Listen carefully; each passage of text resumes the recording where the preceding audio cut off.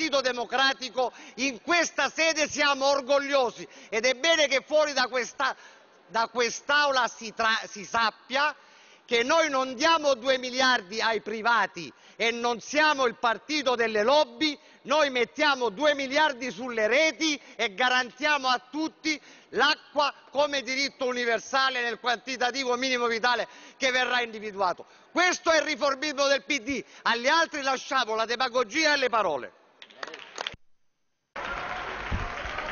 Onorevole Cominardi a titolo personale. Grazie Presidente. Noi dobbiamo partire dalla genesi.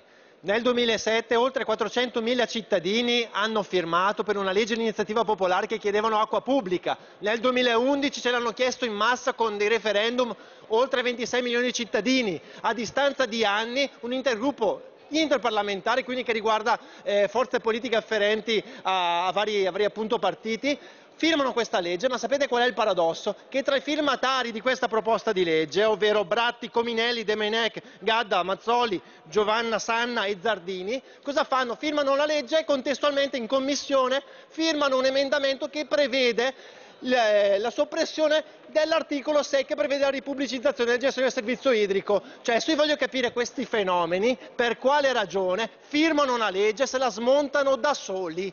Allora, se è un caso di amnesia collettiva, di servilismo nei confronti del padrone o cos'altro, perché anche a Brescia avete privatizzato l'acqua e qua non ci sono scuse, non ci sono assolutamente scuse Presidente, qui concludo, perché in questa proposta di legge sono previsti i finanziamenti pubblici oltre 3 miliardi di euro dalla fiscalità generale all'anno, all'anno la tassa di scopo, la tassa sulle bottigliette di plastica e quindi la ripubblicizzazione si poteva fare Grazie. e voi ve la siete rimangiata. Vergogna! Onorevole Manfredi,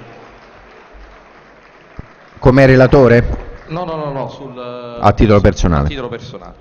Allora, eh, riprendendo lo spunto del collega Zaratti, a cui ricambio sinceramente la stima e l'apprezzamento personale, io ritengo che lui ponga un tema centrale, che è quello della qualità e del controllo degli investimenti, che è un tema che, sia ben chiaro, riguarda nello stato attuale tutte le tipologie di gestione tutte le tipologie di gestione, quelle totalmente private, quelle miste, totalmente pubbliche.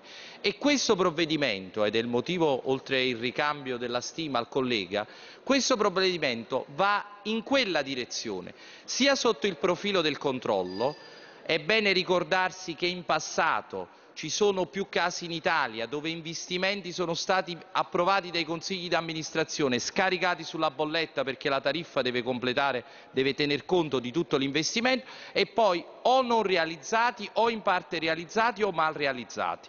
Poi intervenne l'Authority. Noi con questa legge, e, e concludo, con questa legge affrontiamo il tema del controllo perché introduciamo un meccanismo annuale di controllo anche nei consigli comunali, perché talvolta anche